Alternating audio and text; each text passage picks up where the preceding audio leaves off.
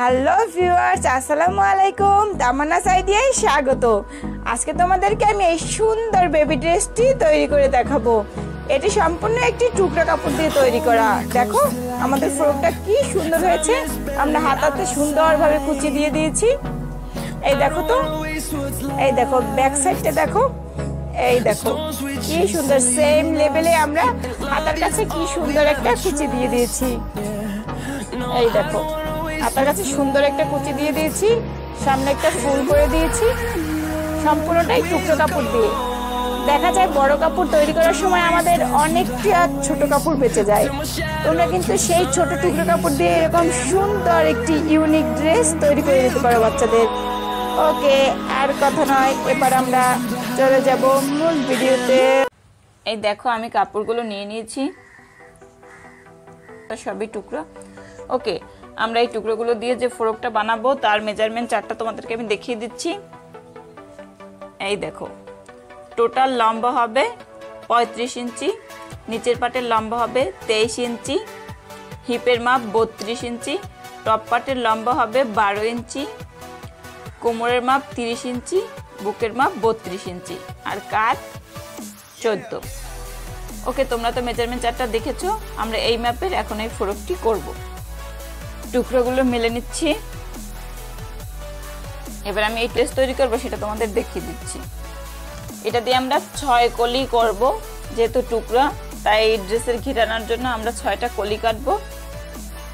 তো দেখিয়ে দিচ্ছি তোমাদের ছয়টা কলি আমি কীভাবে কাটবো। আমাদের হিপের মাপ যেহেতু বত্রিশ, তো বত্রিশকে আমরা, যেহেতু আমরা ছয়টা কলি করব, বত্রিশকে আমরা ছয় দিয়ে ভাগ দিব। ছয় দিয়ে ভাগ দিলে কত আসে দেখো? সাড়ে পাঁচ আসে। সো আমাদের প্রতিটি কলির হিপের মাপ হবে সাড়ে পাঁচ। এবার তোমাদের আমি ছয়টা কলি কেটে দেখাচ্ছি।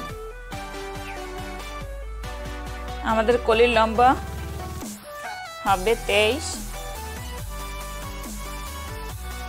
দেড় ইঞ্চি নিচ্ছি এক্সট্রা সেলাইয়ের জন্য। এবার আমরা কলিটা সাইজ করে কেটে নিচ্ছি।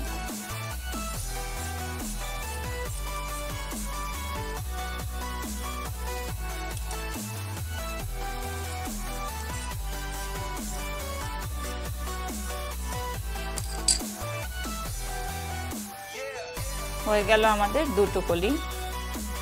এবার আমরা আর চারটা কলি কাটব এই দেখো আমাদের কলির মাপ যেহেতু সাড়ে পাঁচ, নিচ্ছি সাড়ে পাঁচ। পৌনে এক ইঞ্চি নিচ্ছি এক্সট্রা সেলাইয়ের জন্য।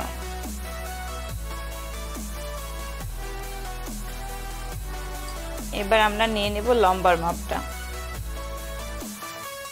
লম্বার মাপটা আমাদের তেইশ। এক্সট্রা নিয়ে নিচ্ছি দেড় ইঞ্চি সেলাইয়ের জন্য।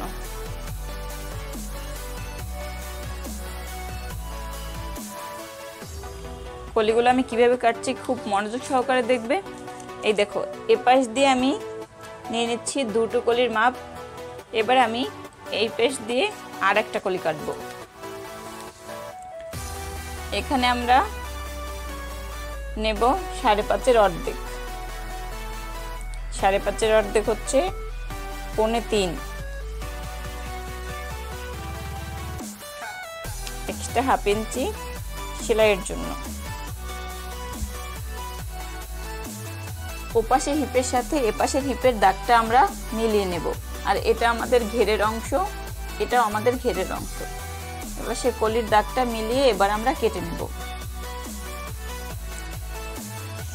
এবার আমরা এই দাগ অনুসারে কেটে নিচ্ছি।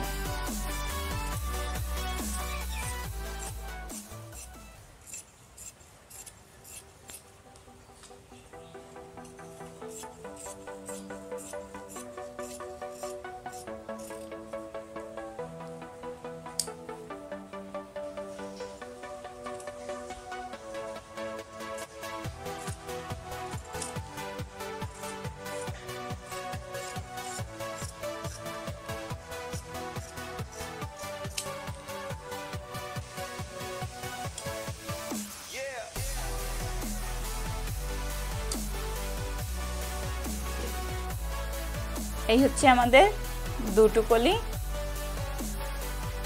আর এই হচ্ছে আর একটা কলি। আমাদের মোট লাগবে চারটা কলি। তিনটে কলি হয়ে গেছে, আমরা আর একটা কলি কাটবো। এবার আমরা ওই কলিগুলোর একটা, এই কলি, এই কাপড়ের উপর বিছিয়ে দিলাম। এবার এই কলিটার মাপ অনুসারে আটটা কলি আমরা কেটে ফেলব।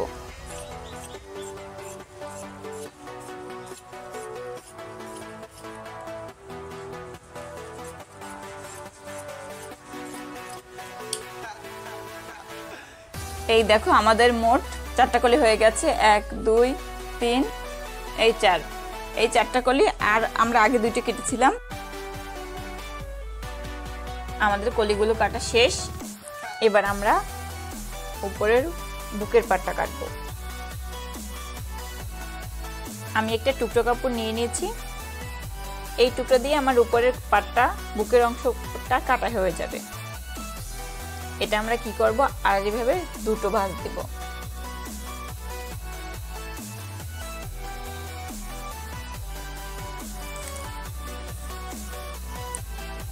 আমাদের কাজ হচ্ছে চোদ্দ।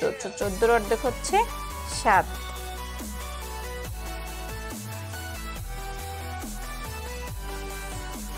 এখানে যেহেতু সাত তো আমাদের এপাশেও সাত নিতে হবে।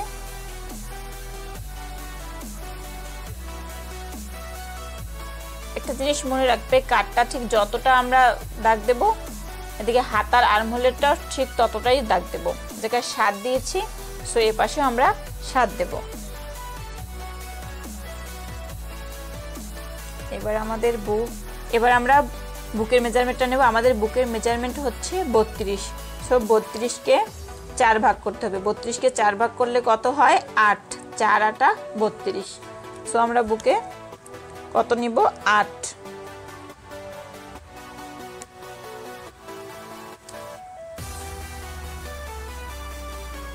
এবার নিচ্ছি আমরা লম্বালম্বিভাবে দশে নিচ্ছি আমরা কোমরের মাপটা। কোমর মাপ আমাদের তিরিশ। তিরিশের তিরিশকে চার ভাগ করলে হয় কত? সাড়ে সাত। সো আমরা নিয়ে নিচ্ছি কোমরের মাপ সাড়ে সাত।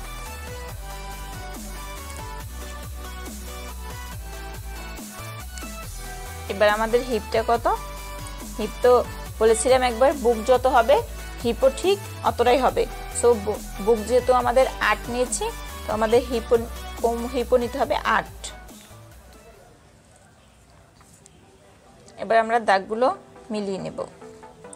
পাশে যতটুকু কাপড় আছে, এটা আমার সাইডে থেকে যাবে। হাতার আর্মহোলের শেপ দিয়ে দিচ্ছি। হাফ ইঞ্চি শোল্ডার ডাউন করে দিচ্ছি। এবার আমরা কাটবো।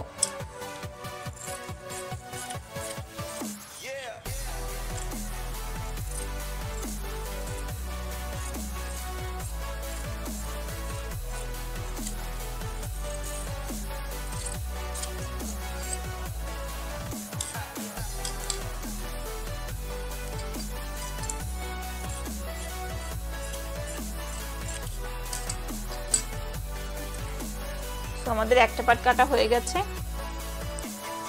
আমার বাকি যে টুকরোটা আছে, এটাকে আবার দুই ভাঁজ দিয়ে দিলাম। এবার যে আমরা একটা পাট কেটেছি, এটা এটার উপর রেখে আর একটা পাট কেটে ফেলব।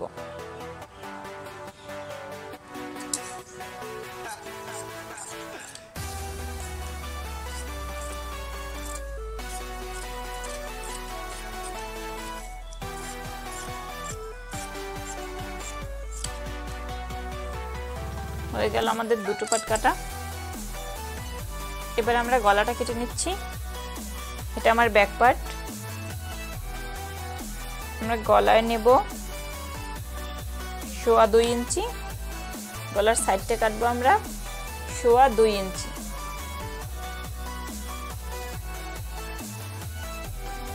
এবং নিচে কাটবো দুই ইঞ্চি। আমি যেহেতু চেইন ইউজ করব, তাই আমি গলাটা খুব ছোট করছি।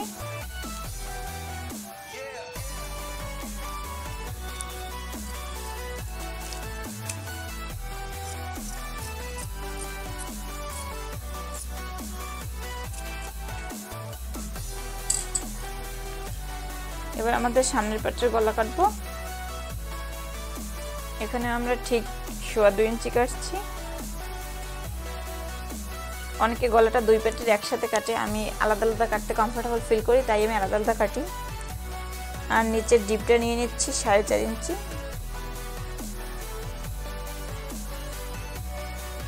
আমি একটা শেপ দিয়ে দিচ্ছি গোল গলার।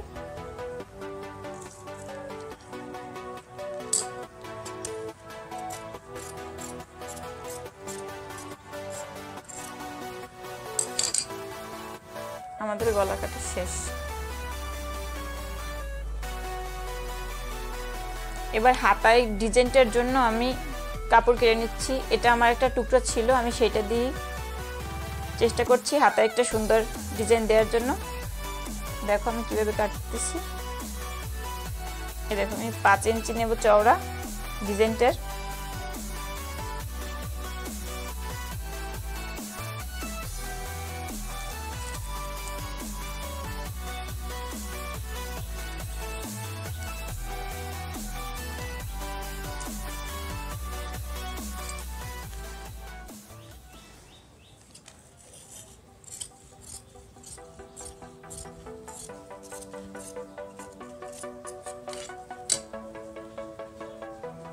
এটা দিয়ে আমরা হাতে একটা সুন্দর ডিজাইন করব। এবার আমরা গলার পট্টির জন্য তিরছে করে পট্টি কাপড়টা কেটে নেব। দেড় ইঞ্চি করে কাপড়টা কাটতে হবে। এই দেখো, আমি দেড় ইঞ্চি করে দাগ দিয়ে নিয়েছি। এবার আমরা পট্টির কাপড়টা কেটে ফেলব।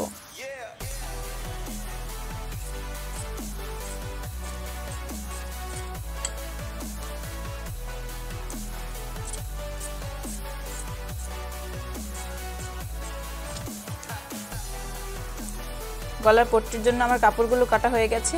এই দেখো, আমি দুটো পনেরো জায়গায় ফিতে দেব। সেই ফিতার জন্য আমি দুই ইঞ্চি করে চ্যাপটা নিয়ে কাপড় দুটো কেটে ফেলেছি। আমার সব কিছু কাটা শেষ। এবার আমি তোমাদের মেলে দেখাচ্ছি জামাটা ঠিক কেমন হবে। এই দেখো, আমাদের ড্রেসটা ঠিক এমন হবে। সেলাই করার পর ড্রেসটা আরও সুন্দর লাগবে। এই দেখো, কলার কুচিগুলো আমি সেলাই করে খুব সুন্দরভাবে বসিয়ে দেব। এবার আমরা জামাটা সেলাই করে নেব। প্রথমে আমরা কলিগুলোকে জোড়া দিয়ে নেব।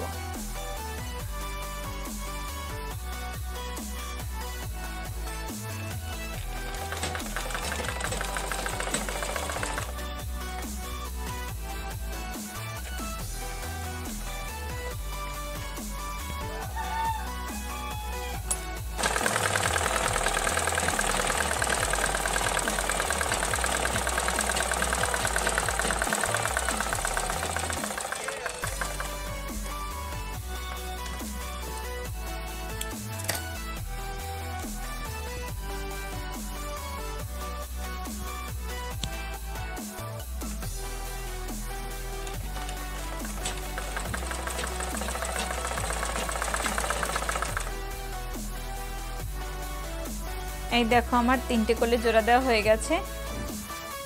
এবার বাকি তিনটে কলি আমরা জোড়া দিয়ে দেব। এই দেখো, এই তিনটে কলি আমি সেলাই করে নিচ্ছি। সেলাইটা কোন দিকে করবে? দেখো, এই যে উল্টো সাইড, এই ভিতরে দুইটা, রাইট সাইড, আর এই পাশে উল্টো সাইড। তো আমরা দুটো রাইট সাইড ভিতরে রাখব আর দুটো উল্টো সাইড বাইরে পাশে রাখব। উল্টো সাইডে সেলাইটা করে দিতে হয়।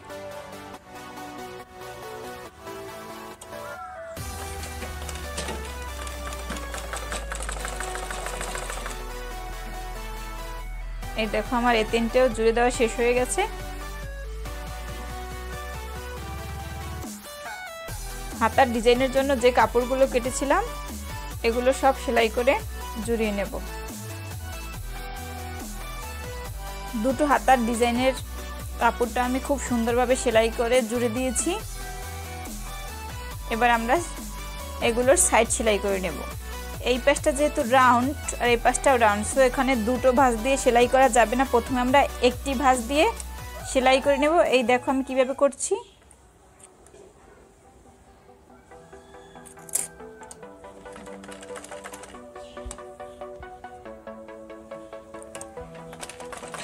এই দেখো, এবার আমি পুরো রাউন্ডে এরকম এক ভাজে এপাশ ওপাশ দুই পাশে সেলাই করে নেব।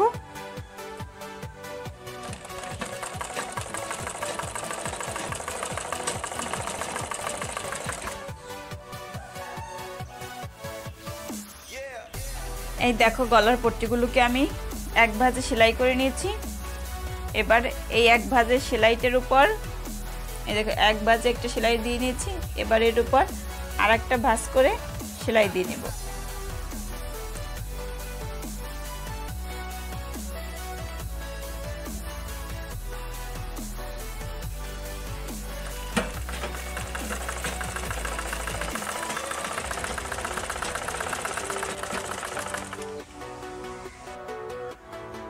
খুব সুন্দরভাবে আমার দুটো হাতার সব ডিজাইন নিয়ে সেলাই করা শেষ।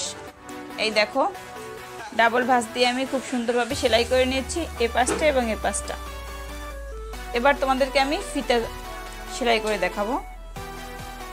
ফিতে কীভাবে সেলাই করতে হয়, তোমাদেরকে এবার দেখিয়ে দিচ্ছি। প্রথমে আমি ফিতেটিকে দুটো ভাঁজ দিব। এই দেখো, দুটো ভাঁজ দিয়ে এই জায়গা থেকে সেলাই স্টার্ট করব।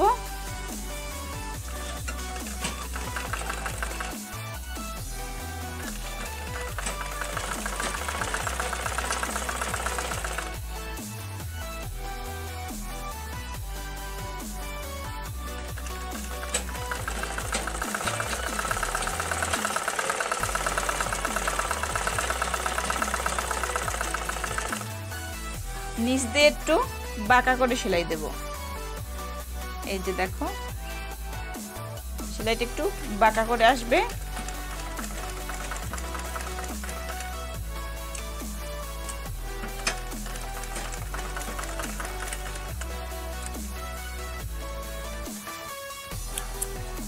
এই দেখো।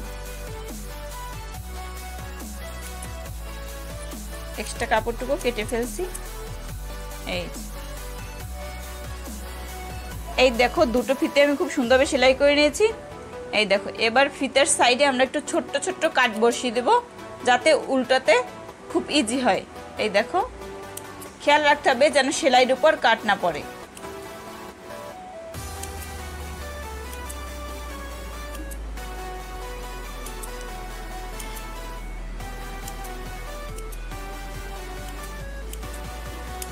আমি কাট বসিয়ে নিয়েছি। এবার আমি ফিতাটা উল্টিয়ে দেব।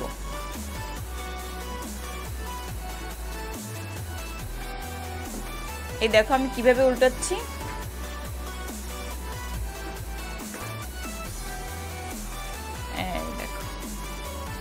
কত সুন্দরভাবে আমার ফিতাটা উল্টে গেছে।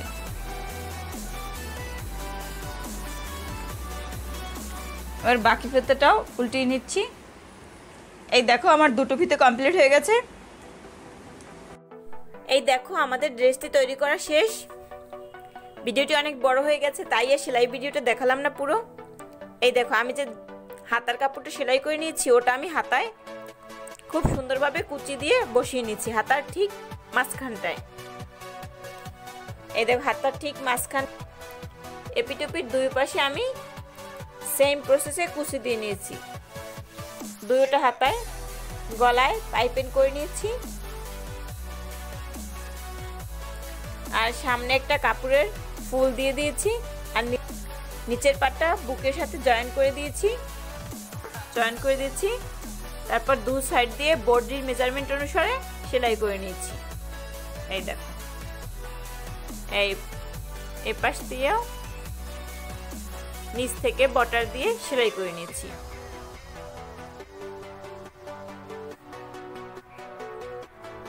এই দেখো আমাদের টুকরো কাপড়ের ড্রেসটা কতটা সুন্দর হয়েছে। আমাদের বড় বড় জামা তৈরি করার পর দেখা যায় অনেক অনেক ছোট ছোট টুকরা থেকে যায়। সেই ছোট টুকরো দিয়ে আমরা এভাবে কলি কাট করে কিন্তু অনেক সুন্দর বেবি ফ্রক তৈরি করতে পারি। দেখো আমার ফ্রকটা কতটা সুন্দর হয়ে আমি আরও অনেক টুকরো দিয়ে আরও নতুন নতুন ডিজাইন ইউনিক ডিজাইন তৈরি করে দেখাবো।